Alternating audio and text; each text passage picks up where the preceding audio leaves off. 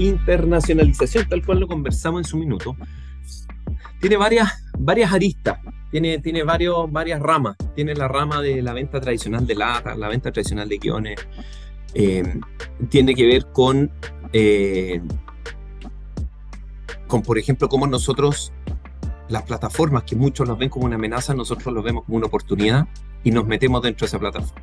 Entonces, en Content America eh, fue un paso más para ir cerrando los eslabones de una cadena de internacionalización que tiene que ver con, uno, por un lado, ya podemos decir que nuestra próxima teleserie vespertina, que se llama El Sur del Corazón, va a tener una exhibición simultánea en Netflix. Es el primer trabajo en conjunto entre Mega, Media y Netflix. La unión de dos marcas, de dos compañías, eh, Mega Media potente en Chile, Netflix potente a nivel mundial, y cómo esa, esa asociación a través de un contenido eh, nos amplifica la exposición de nuestros productos en el, en el, mercado latinoamericano. Tiene que ver también con eh, un acuerdo que hicimos con Mercado Libre, de que MegaGo va a ofrecerle sus contenidos dentro de Mercado Libre, en toda la estrategia del Mercado Play, eh, que vienen fuerte ellos, nosotros también estamos ahí adentro. Lo mismo que nos está pasando con el operador eh, BTR Claro, el principal operador de televisión de pago en Chile. Ellos están ofreciendo MegaGo. Hoy MegaGo es la plataforma de pago que tiene más de un millón de suscriptores pagados. Entonces, cuando uno dice, chanfle, hay más de un millón de personas pagando, hay un algo. Eh, tiene que ver con la masividad, tiene que ver con la marca, tiene que ver con la reputación, tiene que ver con una serie de, de factores. Entonces, esta internacionalización tenemos el, mundo tradicional, la venta de la lata y la venta del guion. Tenemos una segunda rama que tiene que ver con lo que hicimos en Perú. Eh, estamos avanzando en nuestra segunda producción, Pituca sin Luca, en este, en este acuerdo que tenemos con Latina. Tiene que ver con cómo, cómo nos insertamos en el mundo de las plataformas a través de Al Sur del Corazón con Netflix. Tiene que ver con que el próximo martes estamos lanzando Mega Noticias Ahora, el primer canal Fast de 24 horas de noticias, que desde el punto de vista de la internacionalización tiene que ver con que va a ser el primer producto 100% diseñado para el mercado internacional, con todo lo que ello implica, derechos, musicalización, tecnología.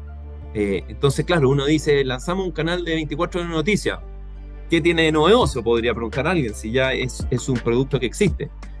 Tiene varios ejes de novedad. Cuatro. El primero es internacional. El segundo está diseñado desde el mundo IP, no desde el mundo broadcast. Desde las entrañas tecnológicas es un canal que nace IP.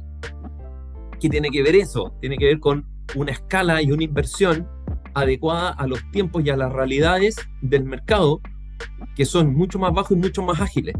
No necesitamos un estudio de mil metros cuadrados. Aquí tenemos una sala de dirección, unos BIMIX y un, y un estudio y con eso lanzamos un canal. Tiene que ver con los contenidos contenidos noticiosos para un ecosistema digital. El mundo digital consume otros contenidos noticiosos aparte de los tradicionales. Una noticia tradicional puede ser en el mundo del deporte el Barça Madrid, pero un contenido digital tiene que ver con que a lo mejor el Kun Agüero eh, va a participar de un partido de la Kings League. Eh, o es dueño e invitó a Messi eso se consume en el ecosistema noticioso digital, no en el ecosistema noticioso tradicional. Entonces, este canal se va a hacer cargo de eso, se hace cargo de esa audiencia.